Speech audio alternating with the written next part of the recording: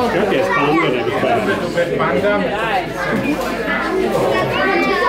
Zeigst du